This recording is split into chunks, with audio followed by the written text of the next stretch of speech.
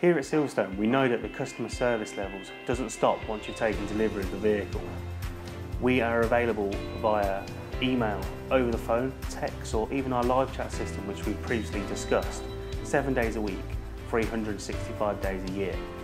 We just want to make sure that the vehicle that you're receiving, everything is okay with the vehicle, so we will contact you at different service intervals just to make sure that the vehicle is okay and also that you're receiving a good experience.